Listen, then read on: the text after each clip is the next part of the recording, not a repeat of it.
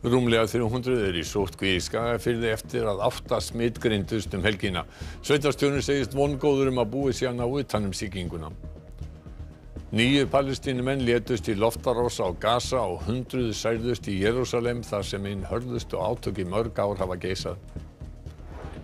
Rúmlega einn hektari brann við Guðmundalund í Kópavogi í dag sem er 20. gróðureldurinn á höfuborgarsvæðinu og tíu dögum.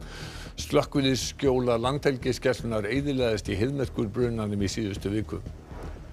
Kökuþjónustur og kjólameistarar hafa vart undan að taka móti pöntunum nú þegar að fjöldatakmarkanir hafa verið rýmkaðar. Það stefnir í brúðkaupsbylgju í sumar. Fyrsta æfing daða á gagnamarksins fyrir Eurovision keppna í næstu viku fór fram í Rotterdam í dag. Við verðum í beinni frá e e Eurobúðunum, Eurobúblunni, áður nú að hitta, í fréttatímanum.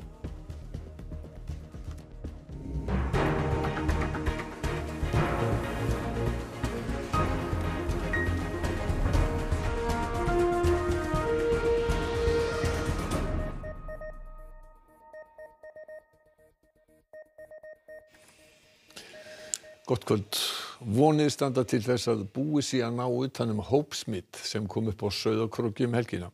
Deildarstjóri heilsurgessunar sem sjálfur í sótkví segir hópsíkinguna mikið áfatt fyrir samfélagi. Rúmlega 300 manns eru nú í sótkví í Skagafyrði og Akrarreppi vegna átta smita sem greinst hafa á svæðinu undanfarna daga. Aðgerðastjórn almannavarna greip til harðra aðgerða strax um helgina og segja má að samfélagið hafi verið sett á hægagang. Það verður að viðkennast að það er heldur tómlegt hérna á Söðarkróki í dag en það hefur það gríðarlega áhrif á samfélagi eins og þetta að missa mörg hundru manns í sótkví. Hér í fjölbreytaskóla Norrlands vestra stóð til að halda vorpróf alla þessa viku en skólinn er lokaður og prófin komin yfir á netið. Auk grunn og framhaldsskóla er leikskólinn í bænum lokaður nema fyrir forgangshópa. Þá eru sundlugar og íþróttamannvirki lokuð og æfingum barna verið aflýst fram yfir næstu helgi. Búið er að skima um 600 manns á svæðinu en í morgun voru öll börn á leikskólanum Ársölum skimuð. Deildarstjóri heilsugjastlunar á Sauðakróki sem sjálf er í sóttkví eftir smit á leikskólanum segir síkinguna mikið högg fyrir samfélagið. Við varum komið langt í bólusetningu þannig að maður var svona farin að verða örugur og já og svo bara sumar að vera að koma og svona og svo bara skellur þetta á eins og þetta bara gerist. Þannig að það var sjokk. Menn eru svona vonsveiknir svolítið, þetta er eins og að fá sér marki upp á tíma, það er þetta er svona fullt Verður ekki að vona að þið hefði verið komin í ágætti stöðu svo að þetta mark hafi ekki áhrif? Jó, vonandi Þau segjast upplifa mikla samstöðu í samfélaginu. Nú var að vera að kynna afléttingar um allt land í dag, fleiri með að koma saman en á sama tíma takir þið skref aftur. Upplifið ykkur að gremju eða eitthvað svolítið? Nei, alls ekki. Alls ekki, Nei, þetta nei. er bara svona sem þetta ávirka, þá bregðast við þetta kemur og reyna að skrúa þetta niður strax Það er bara allir að leggjast á eitt og bara ótrúlega fjöldi sem að mætir í sínatöku sem er rosalega gott og það er allir tilbúinni til að setja á þessa pásu til að vinna þetta hratt niður. Sigfús Ingi Sigfússon, sveitastjóri í Skagafyrði sem líkt og Elín og fjölskylda er í sóttkví segist vongóður um að búi sig að ná utan um hópsíkinguna. Fimm smitt greindust innanlands í gær þar af tveir á Sauðarkróki sem báðir voru í sóttkví. Þá fór stór hópur í skimun í dag og vonir á niðurstöðum setna í kvöld. Níu létust í loftárás Ísraelsmann á Gaza í dag eftir að Hamas samtökin skutu flugskeitum að Jérúsalemborg þar sem ein hörðustu átök í mörg ár geisa. Hundruðu palestínumanna særðust þegar lögreglan rýmdi í svæðið Al-Aqsa moskuna í morgun. Síðustu vikur hafa palestínumenn mótmælt úrskurði dómstóls í Jérúsalem um að sex palestínskar fjölskyldur eigi að yfirgefa heimili sín í Seiftjarra hverfinu í borginni. Þar hafa þau búið allt sitt líf en hinn ýmsu samtök ísraelska geðinga og landtökufólks höfðu dómsmál á þeim fórsendum að landið hefði eitt sinn verið í eigu geðinga. Nokkri þingmenn á ísraelska þinginu fóru í hverfið í dag. It's not about budget, it's not about land, it's about, it's about uh, a national battle that didn't start here, didn't start there, it it started more than 100 years ago, and we continue that. That's all. naturally we are here. Then uh, some uh, MKs, racist Jewish MKs, are coming here as intruders in order to support these settlers. The international community should intervene. The evacuation is an ethnic cleansing. That's why we are here. Nú stendur Ramadan yfir, hinn heilagi föstumánuður múslima og margir palestinumenn sækjast því eftir að byðja í og við Al-Aqsa moskuna í gömluborginni í Jérúsalem. Í morgun rýmdi Ísraelska lauruglan svæðið með hörku. Táragas, gummihúðar, byssukúlur og hljóðsprengjur dundi á palestinumönnum og opnuðum grjóti. Hundru palestinumann hafa sæst og minnst 21 lauruglumöður. Hjálparsamtök segja að sjúkraflutningamenn fái ekki óheftan aðganga særðum og barnahjálp saminuðu þjóðana kallar eftir því að börnum verði hlýft. Í yfirlýsingu frá þeim segir að 29 palestinsk börn séu særð, sum alvarlega og að 8 börn hafi verið handtekinn. Ísraelska lauruglan segir mótmælendur hafa kastað grjóti og skotið flugöldum að sér og því hafi verið ráðist inn á svæðið.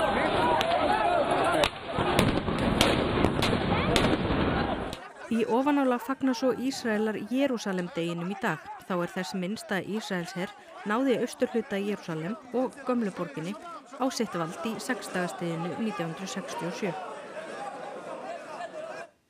Ólið Ragnarsdóttir, hver er bakgrunin þessar átaka sem að núna eru? Sko mótmælinn núna, kveikjana þeim, eru þessi dómsmál sem að tengjast þessu hverfi segt þjara í Jérúsalem. En staða Jérúsalem, borgarinnar sem slíkrar, hefur alltaf tíð verið eitt heitasta deilumálið. Báðar þjóðir gera tilkallinar sem höfuborgar, þannig eru staðir og mannvirki sem eru mikilvæg kristnum, muslimum, gýðingum og þetta er alltaf svona söðupottur og venjulegum degi í Jérúsalem þá er spennan nánast áþreifanlega þannig að þarf ekki mikið til þess að sjóði upp úr. Og borgin skiptist í tvo hluta, austur og vestur.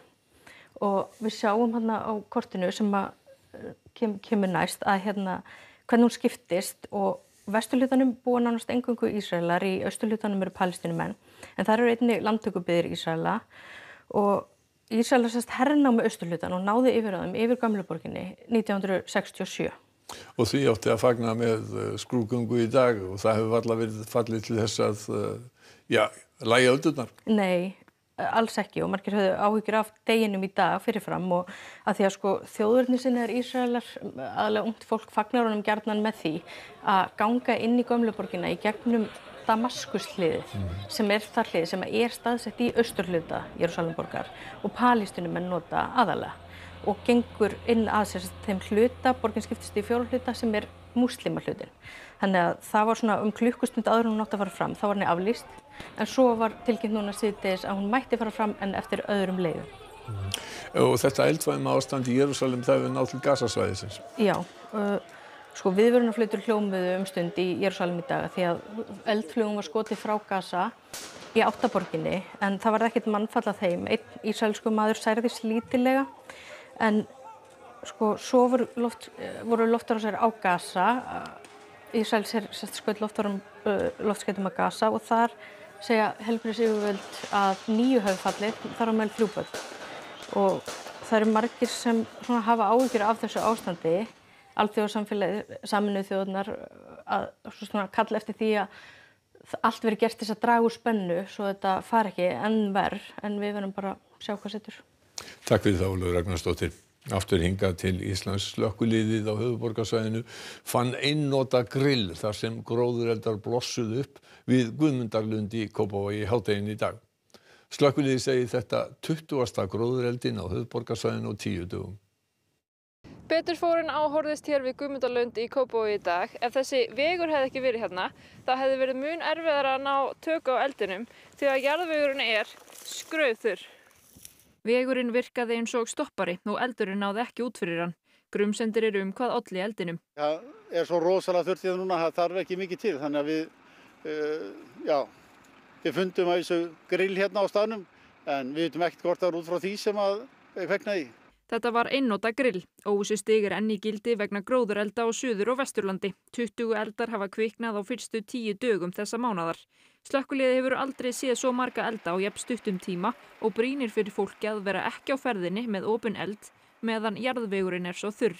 Við erum farin að taka með okkur meiri græjur og, og bara fá meiri mannskap strax í byrju því að þetta snýst allt um það að ná þessu nógu fljótt niður. Stærsta svæðið brann í gróðureldum í Heiðmörk í síðustu viku um 60 hektarar. Þar eðilaðist slökkuskjóla landhelgiskeslunar og vonast almannavartir til að hægt sé að fá aðra lánaða frá Svíþjóð í þessari þurkatíð. Um einn og halvur hektari brann vestan við bílastæðið við Guðmundalund í dag, aðalega byrki og fura. Til samanburðar er Guðmundalundur rúmlega 6 hektarar. Bara stjálfilegt alveg, alveg ég fikk bara, bara fyrir hjartað. Stjórn Skórættarfélags Reykjavíkur beindi því til almannavarna eftir aðalfund á föstudaginn að setja á fót starfsóp til að gera tillegur til varnar og viðbræða vegna gróðurelda. Kristján sem er í Skórættarfélagi Kópavogs segir að þau ætla að vera betur viðbúin næst þegar gróðureldur kemur upp. Í sjálfu sér erum við ekki með neina við, viðbras fyrir já svona luga. Fyrst þurftur að bæta það? Það mætti alveg gera það já og við ætlum að gera það eftir þetta. Við þurfum að hafa einhvern tækja tól til þess eða kemur upp svona að við getum allan að byrja á að slökka það eitthvað. Tjóta það var allar komið drópi úr lofti í mánu hér suðvæstanir. Já og uh, við þurfum að vera aðeins þólumóð. Það er uh, ekki útlættir að, að gerist breytist neitt í þeim efnum fyrir á, á 50 daginn en ég er hérna með uh, smá svona kort sem að sýnir okkur stöðunum næstu daga og, og það ætti að byrja að að, að þykna upp hér á, á, á miðjögutaskvöldið og uh, á uh, fimmtudaga þá fáum við nú einhverja vætu hér sunnan og vestarlands og hér sama á í rauninni þá við um förstudaginn. En þetta er nú svo sem ekki mikið magt sem að kemur þannig á 50 dag, 1. dag og svo er, er svona allt sem bendir til þess að hann fara aftur í norðaustan þannig að það geti verið áframhaldandi þurkur eftir það. En uh, úrkominu þessari vikunum hún er ekki til þess að vega upp á móti þessum þurki í næstum mánum? Nei, þetta er ekki mikil úrkoma. Nei. Takk fyrir það og nánar að loknum fréttum og íþróttum. Þingmenn miðflokksins hafa lagt fram þingsáleituna til og alþingi til að svara frumvarpi heilbreyðisráþur um afglæpavæðingu fíknefna. Ráþæra mælti fyrir frumvarpinu í síðasta mánu en það felur í sér að kaup og varsla á sókallum nýstlu skömmtum til eiginnota verði heimiluð. Miðflokkurinn telur að frumvarp ráþæra takk ekki heildstætt á þeim vanda sem fíknefni hafa skapað og vilja leggja meiri áherslu á meðferðarúræði. Höskuldur Gári Skram, fréttamaður og alþingi hverju á þessi tillaga miðflokksmanna að skila? Já, það er kannski besta flutningsmaður tillöguna sem stendur hérna hjá mér svarið því. Þið hafið gaggrínt þetta frumvarp ráð þeirra og nú leggið þið fram þessa tillögu hvers vegna? Já, við höfum gaggrínt uh, frumvarp ráðherrans vegna þess að okkur finnst að uh, ekki vera nógu heilstætt. Við viljum, við viljum taka á máluna heilstætt, við viljum tryggja uh, aðgengjað meðferðum, forvarnir og félagsstjónustu. Þannig að þessi tekið í, í einum pakka líkt og gert hefur verið í öðru löndum sem við vorum að með okkur við. Þannig að þið sjáu ekki fram á að styðja þetta frumvarp ráþeira að óbreytu? Nei, við sjáum ekki fram á það. En það spyrjum við líka að því, sko, að því það kemur fram uh, með neysluskamta. Hvað er neysluskamtur? Uh, neysluskamtur eins getur deitt annan. Uh, þeir sem neyta fíknefna, þeir byggja upp þól. Þeir sem er að fykta, þeir eru ekki með þól. Þannig að við höfum áhugjur af því að, að, að þetta geti leitt til alv, alv, alvarlegra afleiðinga þess vegna. Og síðan það hefur komið fram í umsögnum bæði frá Læknafélaginu og, og Ríkislaurustjóra og núna um helgina frá Laurlunum fyrir Norðan að þau eru alfærið á móti þessu frumarfi eins og það er lagt fram. Og, og mér var nú bara að hugsa til þess þegar að Læknafélagið, ég las hérna, þetta er Læknafélagið, að við höfum farið eftir ráðleggingum lækna núna í COVID og akkur skildum við ekki gera það líka í, í, í þessu máli eins og þetta er, þetta er faraldur, heimsfaraldur eins og COVID-ið og því skildum við ekki hlusta á lækna í, í þessu máli eins og það. Einmitt Halldóra, þú hefur í tvíkák lagt fram svipað frumarp. Erum við ekki að já, hugsa þetta mál nú að heilstætt? Jú, jú, ég tel okkur verið að gera það. En allt sem að, að bætir forvarnir og, og meðfröðurúræði, það er bara frábært og góð viðbót við afglæpavæðinguna en kemur alls engan veginn í staðin fyrir það um, nöðsynlega skref að hætta að refsa fólki fyrir fíknina sína. Um, reynsla þeirra ríkja sem hafa farið þessa leið að afglæpavæða er óumdeilanlega bara mjög jákvæð.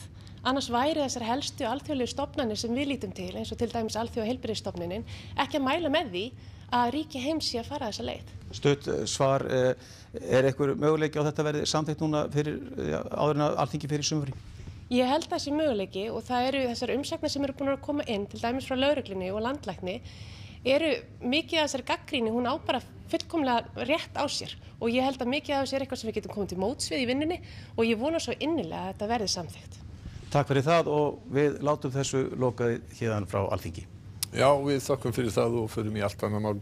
Því að Andriki hefur verið hjá veislu þjónustum síðustu daga samhliða tilslökunum á sóttvarnarreglum. Kjólameistari segist vart hafa undan að svara beinum þeirra sem höfðu frestað brúköpum vegna faraldusins. 50 manns mega nú koma saman í stað 20 áður samkvæmt nýjum sóttvarnarreglum sem tóku gildi á miðnætti og hefur það haft mikil áhrif á starfsemi veislu þjónustu fyrirtækja. Það bara fór allt í gang um helgina þegar þessar frétti bárust og, og hérna, við fundum mjög mikið mjög. Auður segir að pantanir hafi meðal annars borist frá fólki sem þurft að fresta afmælum, útskriftum og fermingum vegna samkominntakmarkana. Sko ég hugsa sumari farið svolítið í að sko, taka af þennan kúf sem er búin að sapnast upp og svo þannig kannski verði höstið meira normal, getur við sett það. Það verði meira svona þetta eðlilega flæði. Kjólamestri segist vart hafa undan að svara beinum þeirra sem höfðu fresta brúðköpum vegna faraldusins. Við fundum bara strax fyrir því að, að hérna, það stoppa ekki síminn og e-mailin bæðum að koma í mátanir og svo líka breytingarnar. Þannig að bara alltaf lifna við aftur. Dæmi um að fólk sem ætlaði að gifta sig í fyrravor ætli nú að láta slag standa og þá þarf ofta að breyta kjólnum. Það er alveg allt frá því að vera bara búin að bæta á sig eða sumar á grænst, aðrar hafa náttúrulega átt börn í millitíðinni þannig að það er einhvern veginn allur skalinn. Ástí segir ljóst að margir ætla að láta púsa sér saman í sumar og að fleiri bætist svo við í kjölfarið. Næsta haust virðist alltaf að vera miklu stærri heldur en haust vanalega og svo næsta ár 2022 er alveg bara held ég að verði stærsta brúkusár bara allar tíma. Aðeins 31 COVID-smitt hefur greinst á Grænlandi síðan faraldurinn hófst. Samkomi takmörkunum hefur verið aflétt en áfram eru takmarkanir á landamærunum. Fyrsta smiti var greint 16. mars í fyrra og þá var greipið til herstra aðgerða í tvær vikur. Núna, rúmu ári síðar, eru smitin alls 31.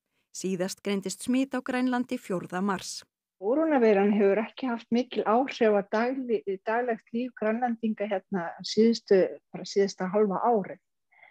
Það er búið að vera þannig að yfirvært hérna hafa verið rosalega góði að halda fólki utanfrá úti svo að segja. Að segja þú, þurftur að sækja um leiði til að koma til landsins. Allir sem koma til Grænlands þurfa að sína fram á að vera ekki smitaðir og sömuleiðis að fara í fimm daga sóttkví. Inga Dóra segir að enginn sjáist með grímu nema þá ferðalangar á leið í sóttkví. Svo reyndar í aðfaranótt uh, sunnudags, þar segi gær, þá opnuður alveg alfari fyrir uh, aflétt allar uh, samkómureglur. Þannig að samkómubannið er, aflétt og núna eru meistramóti í alls konar íþróttum og fermingaveistur og þannig að það var svona tilkomið gaman að geta búið fólki í, í svona veislubóð og haldið upp á hérna, haldið hérna mistravót með fullu húsi af, af hérna, áhörundum. Fyrst þegar faraldurinn braust út var töluverður ótti meðal grænlendinga og segir Inga Dóra að fólk hafi fyllt reglum stjórnvalda vel. Þá segir fámenninu auðvelt að fylgjast með því hverjir koma til landsins og því komist fólk ekki upp með að svíkjast um sótkví. Þú vilt ekki vera sá eða svo sem að komst með veiruna. Þannig að þetta er bara einhvern veginn svona umhugsin að verða hvernig við höfum líka tæklað þetta svona mannísku til manns. Og frá núk til Rotterdam því fyrsta æfing daða og gagnamaksins fyrir Eurovision söngkjöfnuna fór fram í Ahoy höllinni í borginni í dag. Þau stíg og svið 5. daginn 20. mæ. Björg Magnúsdóttir er í Rotterdam. Hvernig gekk þeim í dag? Já, takk fyrir það Bógi. Þetta var auðvitað risastór dagur eins og segir sjálfur íslenski hópurinn í fyrsta skipti á svið á fyrstu æfinguna og já, er ekki við hæfi að láta mann dagsins svara þessari spurningu. Daði Freyr Pétursson er hérna hjá mér. Daði, hvernig gekk á fyrstu æfingunni? Það gekk mjög fínt á fyrstu æfingunni, þakka það fyrir. Ég Já. er bara mjög ánægð með daginn og hérna, held að það séu það flestir í hófnum bara. Já. Sko, allur hópurinn sá það bara á augunum á þér að þú hefur beðið eftir þessu augnabliki mjög lengi, jafnvel frá 2017 að komast á stóra sviðið í Eurovision höllinni. Þetta hlýtur að vera bara, já, mjög svona ógleymanlegur dagur. Já, algjörlega sko. Þetta er samt, við erum búin að tala um það öll að þetta er, hérna, þetta var svona eins overwhelming og þetta ætti að vera, þá erum við búin að vera svo lengi í þessu og þetta er orðið svona, þetta var furðulega eðlilegt einhvern veginn bara að fara á svið og, gera þetta sko. Það verður auðvitað öðruvísi þegar maður er í beinni útsetningu og fullt af fólki í salnum og eitthvað svona. Það var allir mjög slakir yfir þessu í dag sko. Mm -hmm, mm -hmm. munum við sjá einhverjar breytingar á atriðinu eftir þessa æfingu í dag? Um, það, við erum bara að fínpúsa kamerurhefingar og, og einhverja plasseringar í rauninni sko. Það er, við höldum atriðinu eins og það er en já, það er bara svona fínpús sem það er annars að fínpúsa. Já, og það segir okkur að þið séu bara greiðarlega sátt við atriðið. Já, algjörlega. Já, algjörlega. Uh, Förum aðeins í viðbröðin, já Ísland rauk upp um tvö sæti á veðbankanum bara eftir þessa fyrstu æfingu en nú komið í fjórða sæti og viðbröðin hafa ekki látið á sig standa, allir eru bara í skíunum með þetta. Hvernig snertir þetta eitthvað nefn við þér? Það er uh, mikið léttir að sjá að fólk tekur vilja í þetta sko. Maður er búinn að leggja rosa mikla vinnu í að bara allt sem er í kringum þetta á atriðið og lægið og náttúrulega bara, já, allt sem fylgir þessu svo það er mjög næst að sjá að fólk er að fýla það sem við erum að gera. Aha, aha. Fjórða sæti í veðbankanum, ertu mikið að velta því fyrir þér? Ég er ekkert mikið að velta mér upp úr líkum sko. Þessi var djúpur. Afs ég beðist afsökunar þennan þessum fyrirgeðabói, að hérna, það var bara smá grín. Já, rétt í lókinn Daði Freyr, hvað er framöndan hjá þér og ykkur í gagnamagninu? Um, í kvöld eða bara framvegis, já við ætlum að fagna í 10 beers í kvöld og svo ætlum við bara að hafa það næst. Ég held að Jói sé búinn að skipulegja eitthvað svona, hann er búinn að skipulegja eitthvað alls konar. Einmitt það. Eh, takk fyrir það kærlega Daði Freyr Pétursson hérðan frá hótelun okkar í Rotterdam. Við fylgjumst að sjálfsögðu áfram vel með honum og gagnamagninu á öllum miðlum rúf. Sendi boltan aftur yfir til þín, Bói. Já, takk fyrir það Björg og skiljaði því til Daða Freys og honum við fyrirgefið. Í Kastljósi verður rætt um MeToo við Andrés Ragnarsson sálfræðing sem hefur unnið með gerindum í ofbeldismálum og Kolbrúnu Byrnu Hallgrímsdóttur Backmann, einn skipulegjenda druslugöngunar. Rætt verður meðal annars um hvernig gerendur geta axlað ábyrð á gjörðum sínum og hversu langt er rétt að ganga varðandi nafnbyrtingar gerenda á samfélagsmiðlum. En núna skulum við sjá hvað Haukur Harðarsson verður með í Íþróttum kvöldsins. Mönnu var heitt í Hamsi í Hafnarfyrði í gerðkvöld þegar FA og Valur mættist úrvalstilt Karla í fótbolta og ættir að segja að þjálfara liðana þekkist inn og út. Heimir Hallgrímsson mótti sætta sig fyrir tap gegn Xavi og hans mönnum í Al-Sadd í undanúrslitum byggarkeppni Karla í fótbolta í Katar í gær og flott tilþrif sáast í hellutorfærinu sem framfórum helgina þrátt fyrir að um 5.000 áhörundur sem mæta vanalega væru hverki sjáanlegir. Þá er það helstu aðtriði fréttan hjá okkur í kvöld.